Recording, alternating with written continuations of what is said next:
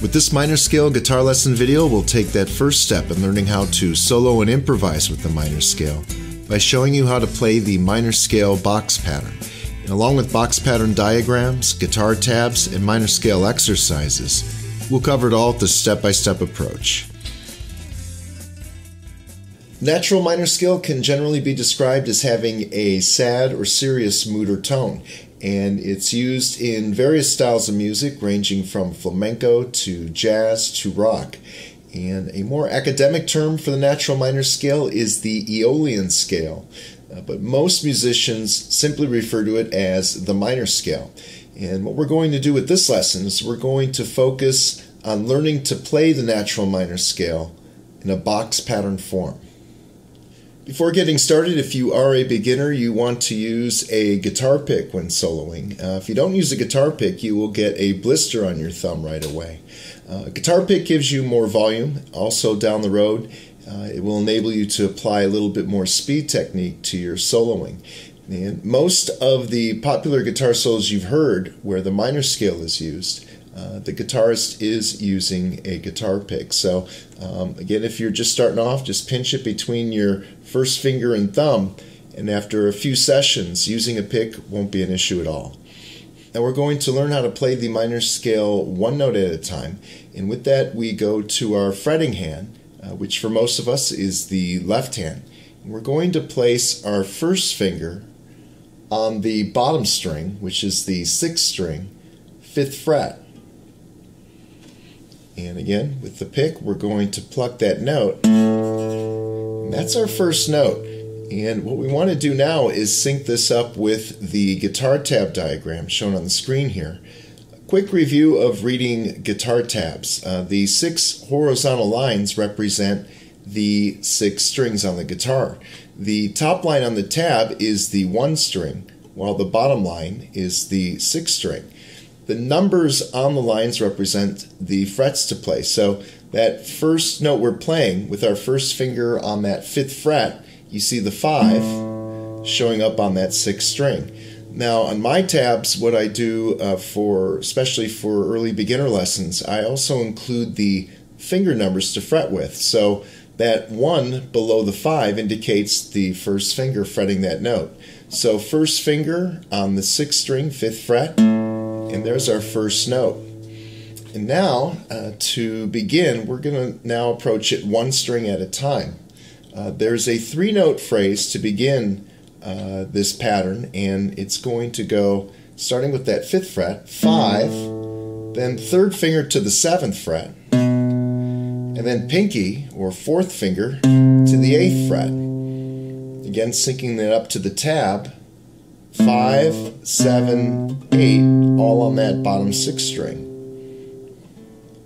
Five, seven, eight. Now, um, I'm lifting off, especially if you're a beginner. That's going to be a bit of a stretch with the fingers. You're going to have to extend them a bit, uh, which is good because you want to get that workout uh, to increase your flexibility. Um, you can lift your first finger off to reach those other notes, but not too far off the guitar because if it's too far off, you got to place it back down as we move up the strings. So let's do that 5, 7, 8 again. And then we're going to now move to the next string. From the 6, we shift to the 5th string. And a little um, heads up here, our first finger is going to remain aligned along the 5th fret for the whole thing. So it's just a matter of shifting the one finger over and then, good news here, we do the same sequence five, seven, eight on the next string, which is the fifth string. So, the opening sequence that we've got so far is six notes five, seven, eight.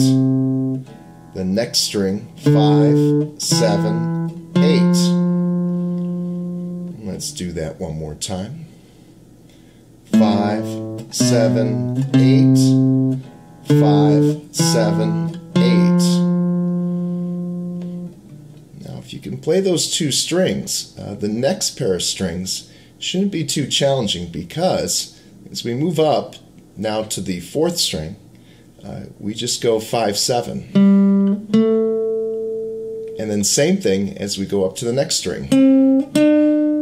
Another thing I want to clear up, we are going up the strings. Uh, again, if you're a beginner, that may not make sense. This is actually down to most folks, but uh, the deal is on guitar, everything on guitar is based on sound. If you're moving higher up on sound, you're moving in this direction on the guitar. So when I say move up a string, you're actually moving to a higher sounding string. Um, so let's put it together, um, those first four strings now 578, 578, 5757. Uh, let's do a couple practice runs uh, to get those four strings down.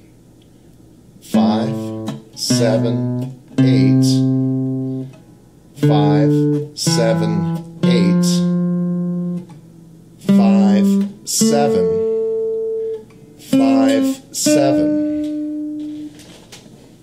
Then uh, we're going to move to the second string now. And here we're going again we're starting with the fifth fret. Uh, we have a three note phrase. It'll be five, six, eight.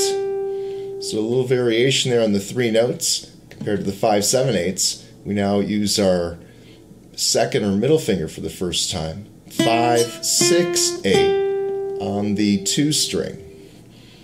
So let's go back to the beginning and see if we can put those five strings together. Five, seven, eight, five, seven, eight, five, seven, five, seven, five, six, eight. Let's do one more. Speed up just a little bit. Five, seven, eight, five, seven, eight, seven, five, seven, five, six, eight. Now we move to the last string, which is the one string. To end this, we're going to play a five note phrase on the top string. And the sequence is going to be five, seven, eight, seven, five, letting that last note ringer sustain. Let's do that a couple times. Five, seven, eight, seven, five. And if you're listening closely, it sort of has that sort of serious Spanish like sort of tone to it, that last riff. Dun dun dun dun dun. And I'll do that one more time, slowing it down a little bit.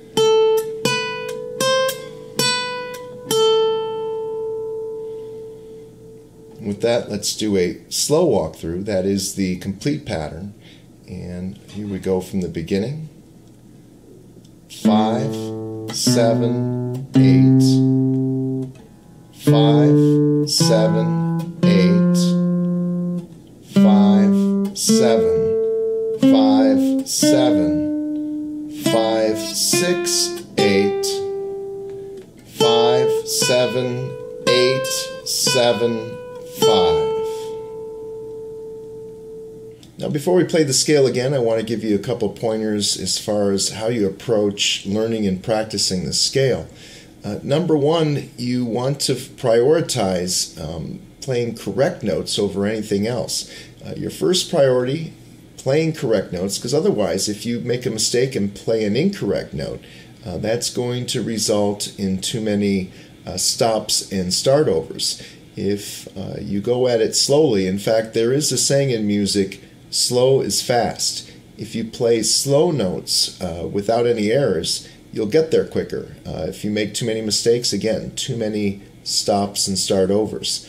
Um, once you get everything correct, then you focus on clarity or clear sounding notes. And the last thing you worry about is speed.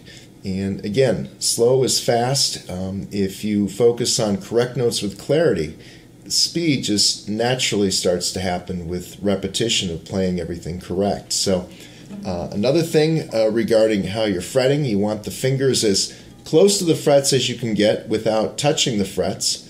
Uh, because it is the left hand that uh, controls the clarity. So, and that is by playing close to the frets and also arching your fingers, trying to use your fingertips as much as possible uh, and that'll avoid partially muting adjacent strings. Now that's just a quick run through here. But now what we're going to do in the next clip is we're going to look at how this pattern can be applied to reading a box pattern diagram. The diagram to the right shows the minor scale in a box pattern form. And a box pattern is essentially an aerial view of a scale going across the six strings, with the sixth bottom string being shown on the far left and the first or top string being shown on the far right. And the finger numbers to fret with are shown in the circles. So all the notes we played from the previous clips will fit within this box pattern. Um, the one drawback to, about the box pattern is it doesn't tell you the exact running order of notes, uh, but it's a pattern to sort of visualize. And regardless of what scale or style of music you're going to play, um, guitarists usually visualize box patterns when they're sewing along the fretboard. And so there are several box patterns used to play the minor scale. Uh, but the pattern we're focusing on this lesson is the most often used, and we can refer to it as the standard minor scale box pattern. And so let's um, play the pattern again, this time looking at from a box pattern perspective. So here we go from the top. This time I won't call off the frets, you should know them by now, but uh, let's see if you can keep up with this pace. One, two, ready, go.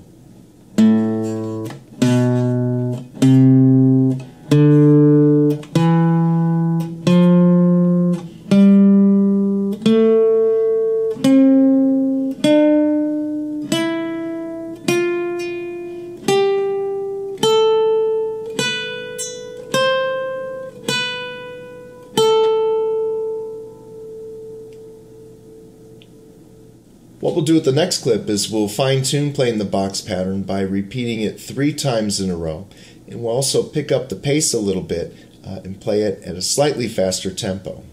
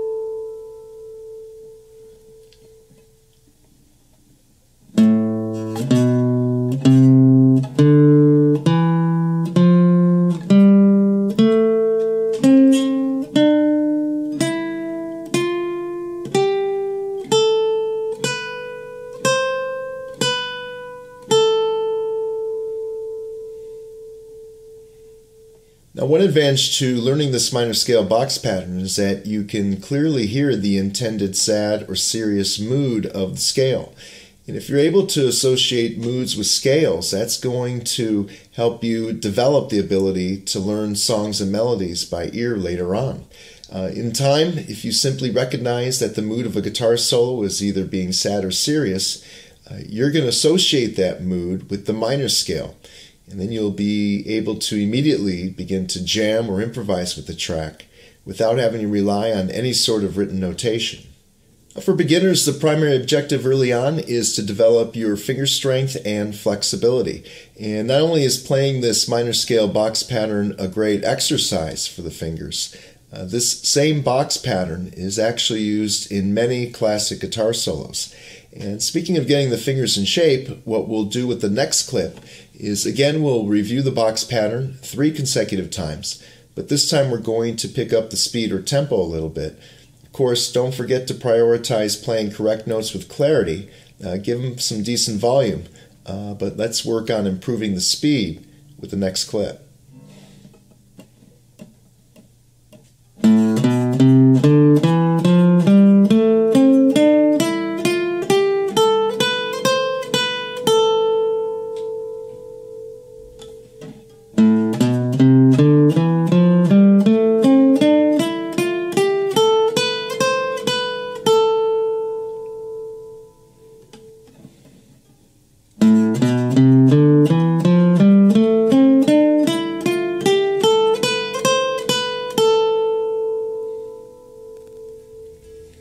Once you have this lesson down, the next step is to move up to the next lesson or level of minor scale soloing basics. And with that next lesson, we'll show you how to solo with the minor scale in any key.